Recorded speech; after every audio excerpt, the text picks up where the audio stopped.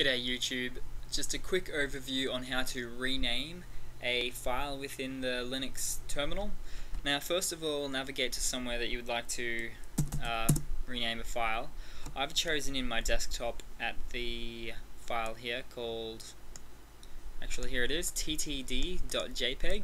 I'm going to change that now. So the command is mv space the name of the file, in this case of course we know it to be ttd.jpg, then space, then what I would like to change that to, and in this case I'll change it to ttd new name.jpg.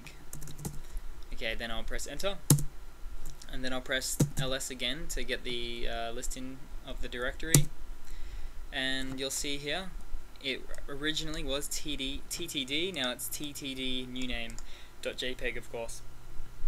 Now, um, the command I used, and you may know from another video of mine or from somewhere else, the mv is also the move command.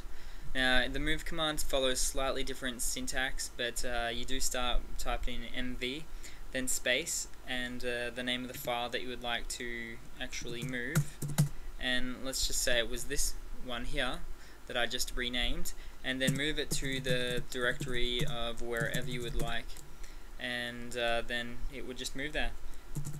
ISOs for example, and then it will have been moved, but I've already done a video on this one somewhere else, but that's pretty much it for the move or the rename command. Uh, easy to mix up, but uh, once you get a feel for it, you know what you're going to do with the syntax if you're going to move it or change it, so it's really not as complicated as it can seem.